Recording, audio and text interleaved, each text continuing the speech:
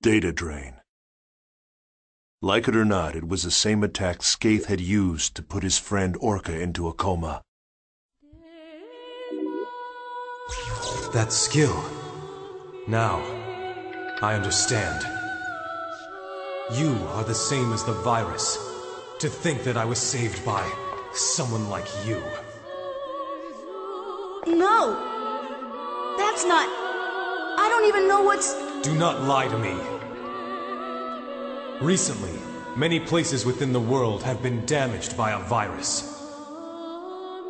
Those who willfully spread the virus and destroy this world for their own amusement, they.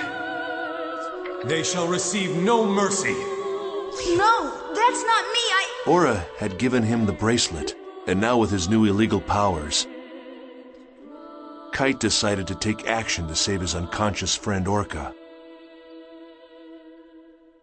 And alongside Kite, there was always one girl.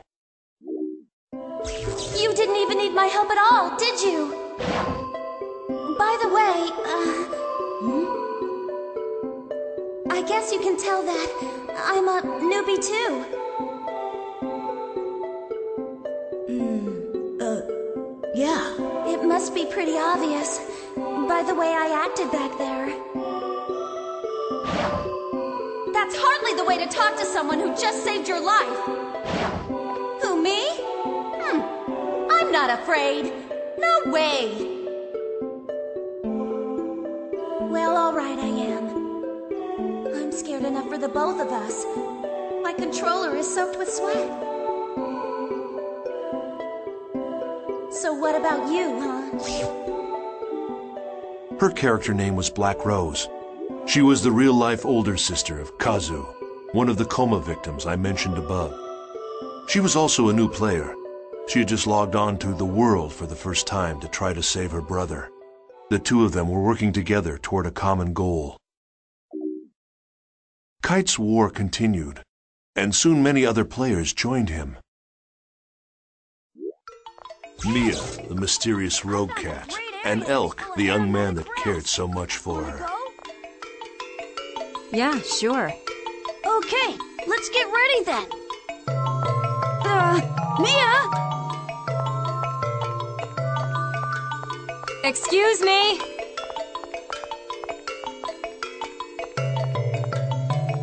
You! Yes, you! That's a unique bracelet. Uh, oh! Can I take a Uh, look? Can you see it? Yes, of course. Do you mean to say that you can't see this nice bracelet? Even if you can't see it, as long as you know it's there, it's the same thing as seeing it, right? Bracelet? Hey, what are you talking about? I can't see any bracelet, Mia. Well, thanks a lot for letting me look at your bracelet. I have a feeling we're going to meet again. Somehow. Well, see you around. Hmm. Wait, Mia! What about the aromatic grass? Balmung, who along with his sworn friend Orca, had earned the title Descendant of Fianna, appeared as well. Draw! Draw your sword! Now! I do not speak with hackers. Then I must ask. I have not been able to contact him since that event.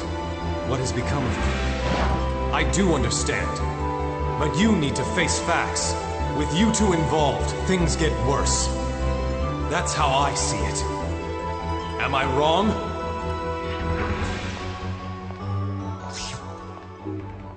And Helba, the legendary super hacker. You don't have time to get depressed. Who are you? A friend, or perhaps a foe. a meddler with a warning.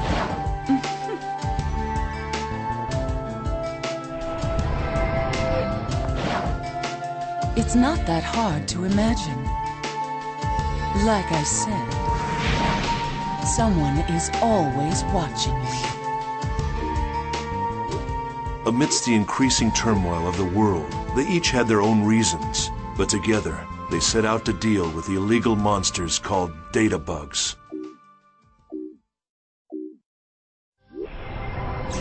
Aura? I see you received the mail I sent you. Yet, however, it's too late. Wait! There's something I have to ask you.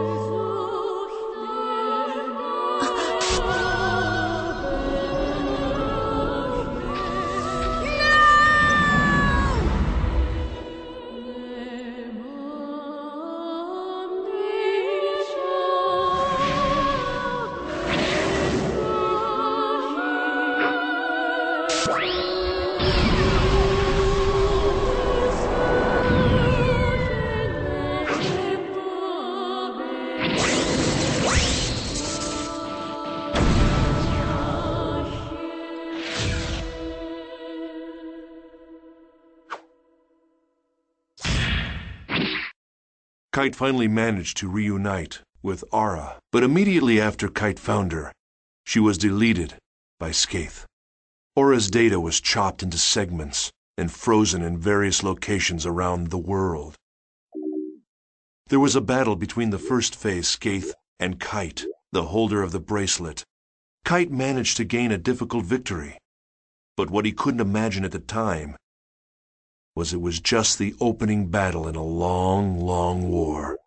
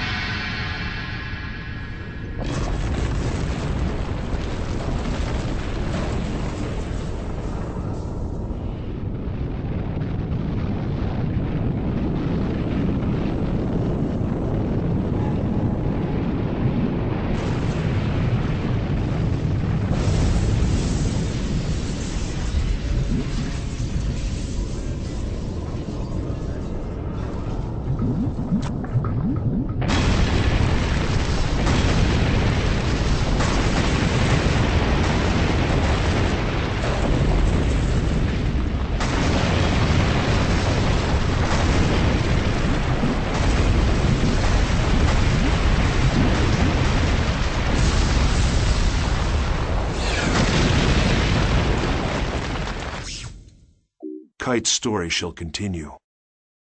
But first there's the mystery of the brilliant AI programmer and creator of the world, Harald Hoerwick, and the lost epic poem, Epitaph of Twilight. There's little doubt that the second network crisis of 2010 was a direct result of the world. It was awful. It caused catastrophic damage to travel, communication, and healthcare industries all over the planet. What exactly was it that caused the network crisis? It was the very power that was being researched at Project GU. In other words, the network version of God. My efforts were entirely devoted to technical research and the existence of God in the world. It became a story of human foolishness and a paradise abandoned by God.